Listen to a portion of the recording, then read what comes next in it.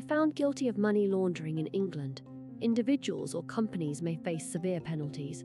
The penalties can include imprisonment, fines, or both. The length of imprisonment and amount of fines can vary depending on the severity of the offence.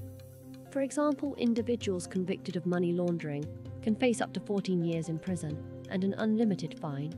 Companies convicted of money laundering can face an unlimited fine, and their directors can face imprisonment and disqualification from being a director. In addition to criminal penalties, individuals or companies found guilty of money laundering may also face civil penalties. These penalties can include seizure of assets or forfeiture of money obtained through illegal means.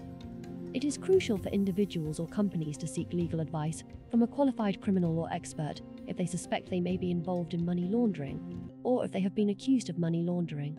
A skilled criminal law solicitor can provide guidance on the legal obligations and potential risks associated with money laundering, as well as developing effective defense strategies to mitigate penalties.